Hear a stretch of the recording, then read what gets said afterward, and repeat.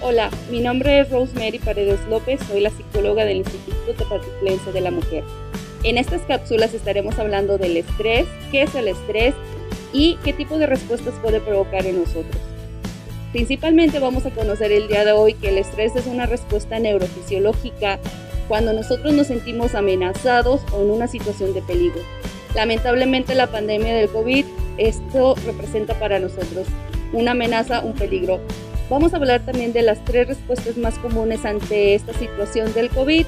Esto provoca varias emociones en nosotros, desde la angustia, el miedo, hasta la tristeza, porque en algunos casos estamos viendo cómo el COVID está afectando a muchas de las personas que queremos o la preocupación de que afecta a una de las personas que queremos.